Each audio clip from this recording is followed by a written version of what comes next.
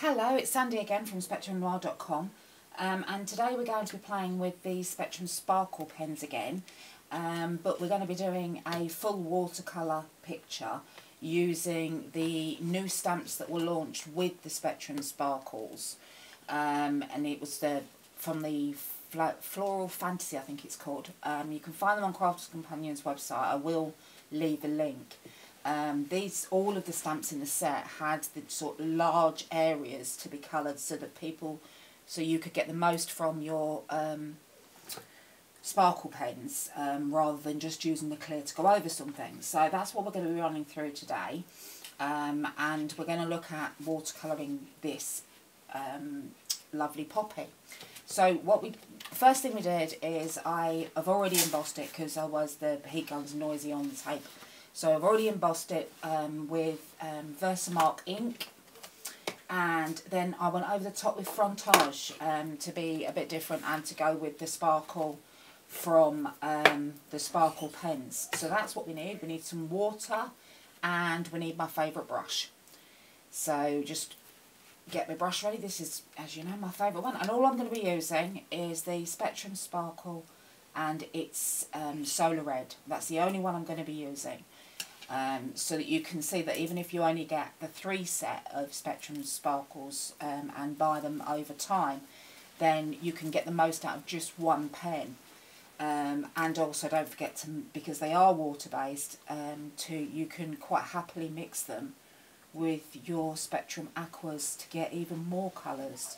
So I'm going to start by just putting some down, give it a bit of a shake and putting some down on my glass mat which is now very shimmery. Um, you're going to have to ignore the state of my um, fingers and my under my fingernails because I've been doing mixed media today so I'm a bit, my hands under, it's a bit grubby but never mind. Um, right, so we're going to start. So when you look at look at the, the um, image, the first thing you want to be doing is to look at where the shadows are. So they're the the bits we put in first. Now on this stamp, um, these first two flowers are the flowers that are at the front. So what we're going to be doing is I'm going to put some, lay the shadow down along there. Now the reason, the great thing about embossing it first, especially when you're not, when you're practicing or you're just messing about with watercolour, is that it actually keeps the paint in the water um, and the ink inside the area you're working on because this is a resist. So no matter how much I paint over it, it's just going to roll straight back off, um, which is fabulous. So we've got that dark colour down. So then all we now need to do is we just need to go in and just blend with a virtually dry brush and blend that colour out to the lighter area where there's not as much shadow. So if you just go in and just do small motions going into the dark area and it drags that paint out. So we're just going to work on a base coat because what we're going to do is we're going to come back and do um, a second lot of magic over the top that will finish off the colour.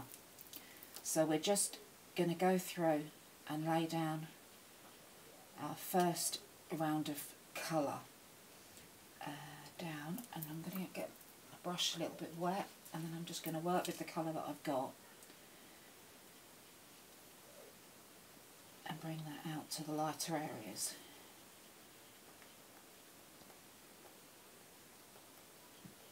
So just working with that colour that you've got and taking it out to the darker areas and then bring it down from the top because it helps to blend those dark lines in.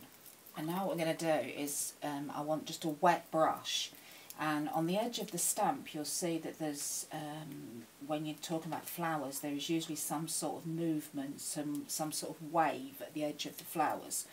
So where, it, where the highest point is, we're going to assume that that's where the light hits. So we're going to go in with just water um, and like we did with the um, faux bleaching on the landscapes tutorials that I've got up there, we're literally just faux bleaching and taking some of that colour out where the lighter areas are going to be. So that's what we're going to do and we're going to follow that round now for each of the petals because we're going to come round when that's dry and do a second a second round. So I'm going to use the same techniques on this petal and because this one's the one that's right at the back I'm going to assume that my shadow because my shadow my light's coming onto my picture from the front which is unusual for, for me because it usually comes from the side. But I'm going to go with it. So my light's coming from the front because it's easier to show on this flower the differences in colours. So there we go. So we've got some dark going on. So now I'll take some of that paint off my brush um, and start to blend that out.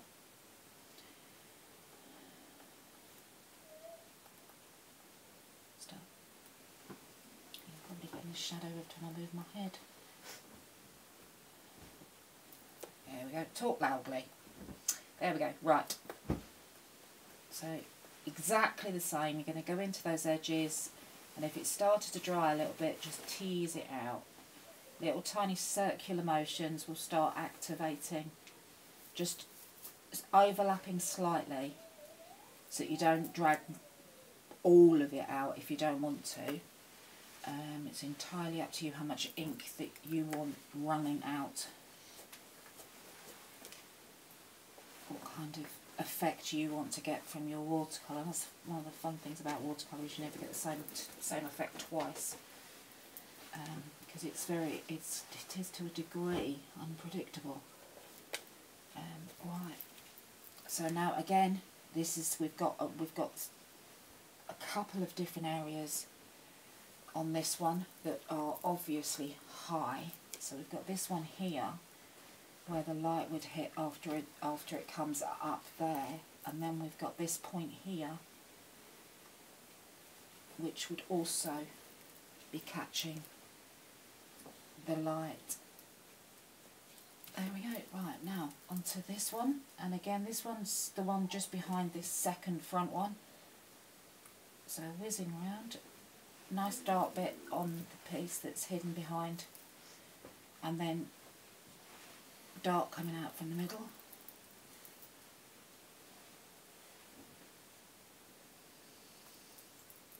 Nice and dark. And then we're going to work through and just wash that colour out. So damp brush again. So we're trying, it's just, you, your brush just needs to be barely wet because we're using the water that's actually in um, the paint in the pens because they are water markers so because they're water, there's already a amount of liquid in the pen, so we don't always want to be adding lots and lots and lots of water when we're painting with them. Sometimes we just go with what's available in sometimes you just have to go with what's in the pen. Right, that's that one done. So now we're going to look at the two front ones. So if we're coming down, those ones will curve underneath. They'll curve under. So we're going to look at um, using the light. Uh, so we've got these veins that the stamp's given us. So we're going to assume that they're dark. But also underneath here will also be a dark area because that's where the petals go under. So I'm going to clean that off and now take that colour up to the top where we're meeting the top of the petal that then goes over with our eye line into the dark of the petal behind. So the top of this one is really going to be quite pale because it's taking most of the light from the flower. except for this this edge and there you go. Right. Perfect. Again, don't brush and just blend out those sharp edges. just take away the edges and let it settle. One of the things with working with watercolour is that one of the things working with watercolours is that you do need to let them settle. Um, it's also, I mean, it's true of markers as well when you're working with alcohol markers, is that sometimes it's it's best to get to a certain point and then go and have um, a cup of tea, come back and give it a chance to, to do its thing and soak into the paper and blend the colours together um, properly. Otherwise, um, you can overdo um, the colouring and you can overdo the, especially when you put adding extra shadows, um, because it may well blend in by itself when it settles into the paper and dries properly. It may well have already been okay. Um, and you can, it sometimes can be quite surprising when you go back and you're like, oh, I thought I was going to have to change that, and you don't. So, a cup of tea and a piece of cake is what you need and then come back and wait for it to dry. But I'm not. I don't have that luxury today, so um, I'm not going to wait. Make you wait while I have a cup of tea and a piece of cake for round two. So we're just going to go with it and hope it's it's dried enough for me to move on to the next bit with you. Okay, so there we go. I'm going to take that colour off because I don't want it. And there's always one, always one petal every time I do this that I over, over water. There we go. It's like real plants, can't keep them alive. Right, so what we've got is you should already be able to see you've got some shimmer coming from the Frantage embossing powder, but you've also got the shimmer coming through, which when you sort of look at how pale I've and how much I've dragged this colour out, there is still shimmer now running through the whole flower. Okay, right, so that was round one. So what we're going to do in round two, when we go back round the petals, is a lot quicker because all we're doing now is going back in and making those, defining those shadows just that little bit more and just coming up from the centre. So you're looking at the centre having quite a bit. And now where we put, where we took the faux bleach, the colour out, the in between in the valleys would be a little bit of a shadow. So we're going to start to add the little details like that that will bring, bring the petals to life. Um, so we're just going to go back round, going back in. Um, ideally you would have would have gone away um, and let this dry a little bit more or heat set it um, because you will have to trust me that when you come back um, it will have settled and some of the areas that you thought were quite harsh will actually soften down by themselves um, as the paints continue. Um, the water um, content continues to um, be absorbed by the paper. So there we go, right? So happy with that. get a really deep area there. Right. And um, and don't worry, you see the other thing while I'm thinking about it, about, see I want cake now, um, the other thing while I'm thinking about it is um, don't worry about the um, ink drying on your glass mat or on a tile or whatever it is you use, piece of acetate, because um, because they're water based is that even if it dries you can come back and reactivate them later. So that really doesn't matter because you're not going to waste any um, especially if you do do it on a, um, a tile or something because you can obviously move it out of your way if you're doing something else or you craft on the table or on a lap tray or whatever. So there we go. Right, so I've um, about, this one was very wet so I'm going to be very, a bit more careful. I'm just picking up the last of the ink that's on my mat. Um, I'm just going to come in this one here and then we've got, it's coming in, I'm just mumbling to myself while, um, so if you couldn't quite hear me, then I'm sorry. I am just happily in my little happy place, painting along and mumbling away to myself. So that I don't bore you too much, really. Right, so I've now, I've cleaned my brush totally, and it's now just damp. Um, and I was just going in and just some of the some of the really harsh areas. Um, I'm just mainly because I can't walk away I'm one of them people that, oh, I'll just do that, I'll just do that, and then I end up having to redo something. Um, so what we've got now, and then the, the final touch, once that's completely dried, which obviously mine isn't, um, what I would do is um, I would then go in direct to paper with the pen and just go in um, where the real, real, real shadows would be. Um, just to give it that last bit of depth, especially in the centre of the flower for this back portion of the flower behind these two front ones so that you can really, really see the brilliant um, brush nibs on these go down to a real, real fine point. So I can get in really quite tight to the lines.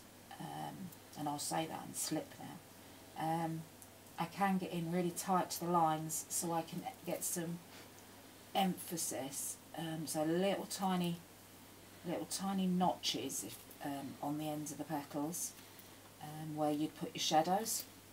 And you really, I, I really, really, really need somebody, you know, like a little, a little craft, crafting elf, or my, um, I've got a little, little monster thing up on my shelf um, that we got from holiday, and it really needs to speak and say, stop, walk away, because I will just be here all night, and this video will be several hours long. Right, so my crafting little thing in my head is saying pack it in and stop now, so I'm going to. Um, so I've just, just literally been round um, and that will will settle but if you're not happy with um, some of the lines um, that have not maybe not blended in literally this is this is almost dry now. Um, and, and just literally just take that ink that you've just lay down because obviously it is a heavy saturation and just just touch the edges and get it moving into into the into the paper um, because there still will be some unless you come back to it the next day there is enough water within the pen just for you to be able to take the edge off the darkness. But there you go. One pen and sparkle and there's one of the flowers and I really think that the sparkly embossing powder works its magic and then it's just a matter of, um, of either cutting it out or mounting it however you want to um, on my finished version um, I just mounted mine um, onto the front of a card put a frame around it um, and I used a contrasting colour um, of Distress ink. I think this was Blueprint Sketch. Um, and, and it was really just because I was going to use it as an example to show you, but you really can put any colour you like around it. So, one pen, one Spectrum Sparkle pen, and a paintbrush, and some, some watercolour card, and you can play and lose yourself. Absolutely brilliant. Thank you very much for watching. Um, it's This has been Sandie